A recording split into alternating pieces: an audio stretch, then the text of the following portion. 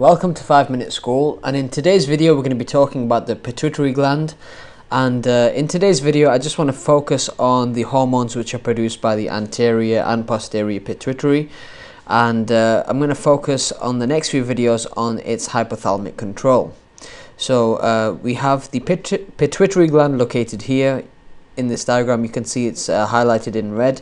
Here we have the posterior lobe and here we have the anterior lobe and I think in separate videos I'll talk about the anatomy of them both but in this video I'm just going to focus on the hormones that are produced.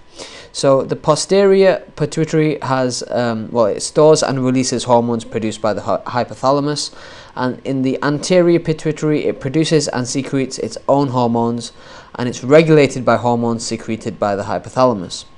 So um, we have these trophic hormones here which are secreted by the anterior pituitary so we'll talk about that first.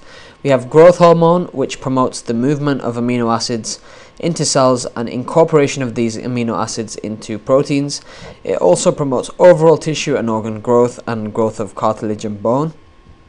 We also have a thyroid stimulating hormone produced by the anterior pituitary and it stimulates the thyroid gland to produce and secrete T4 and T3, which we'll talk about in a separate video as well.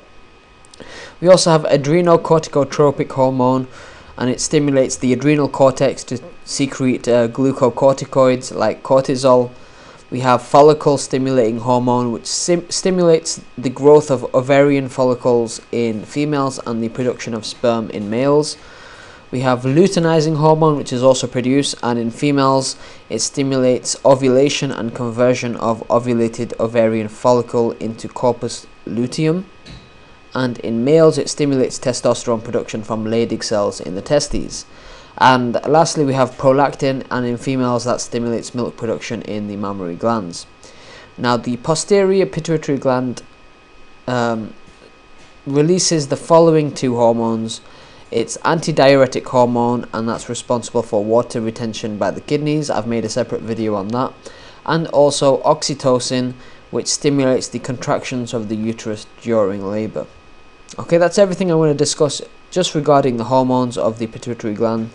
Thank you very much for watching.